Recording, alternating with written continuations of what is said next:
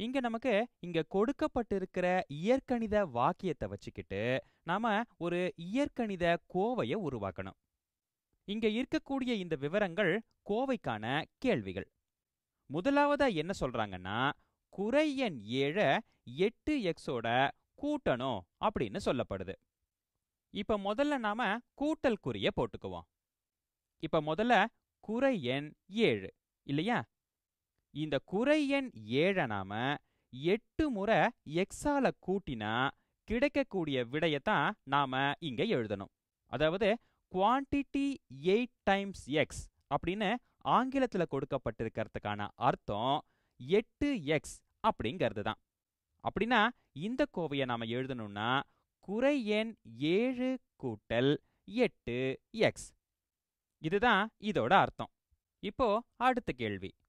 குறை எண் மூணு முறை எக்ஸ் குறை எண் மூணு முறை எக்ஸை நாம ஒன்னோட கூட்டணும்.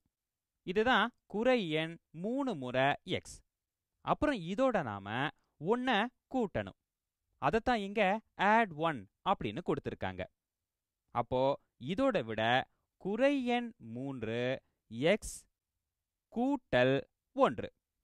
இப்போ அடுத்தது குறை எண் ஆறு குறை எண் ஆறோட பெருக்கின விட.